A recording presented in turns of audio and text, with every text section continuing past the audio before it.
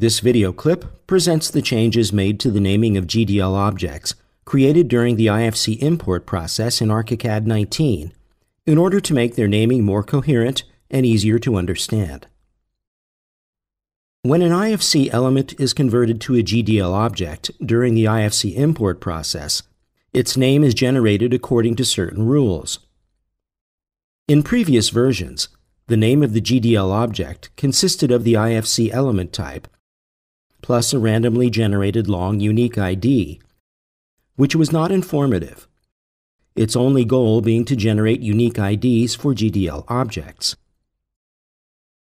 For example, the name of a covering type of IFC element, which may be a ceiling, cladding, flooring, etc. after conversion, became IFC covering followed by a long stream of alphanumeric characters.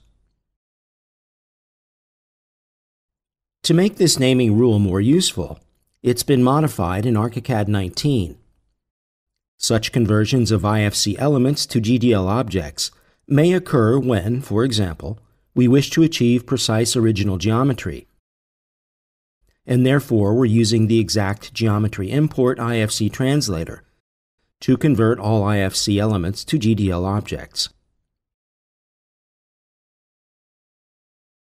In ArchiCAD 19, the names of generated GDL objects are now composed of the subtype of the GDL object and an index number that starts from 1 and is increased by 1 for each converted GDL object of that subtype. Thus, the same resulting GDL object in ArchiCAD 19 will have the name covering 16. If we select the object and activate the file, Libraries and Objects, open Object Menu command to open it for editing. The GDL Editor dialog opens. At the top, in the Object Subtype field, we can see that its subtype was set to covering in the subtype hierarchy and its name became covering 16.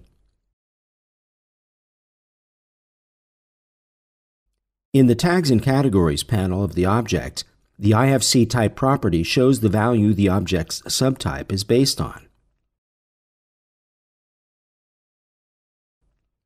ArchiCAD uses the same naming rule regardless of the element type the GDL object was converted from, including building element types such as walls, slabs, roofs, and so on. For example, the name of an IFC wall element after import becomes wall, followed by a much shorter index number. Also, if we open the GDL object and check its subtype, we find that it's set to the wall value in the subtype hierarchy.